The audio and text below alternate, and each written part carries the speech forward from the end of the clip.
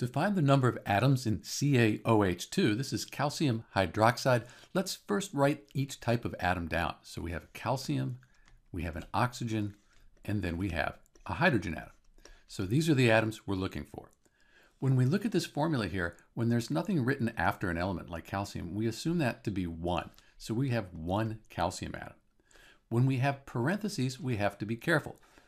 The parentheses mean that this number, this subscript out here, it applies to everything. So we have our ones here. So we have one oxygen times two. We have two oxygen atoms. And then we have one hydrogen times two. So we have two hydrogen atoms. So there are five total atoms in this calcium hydroxide here.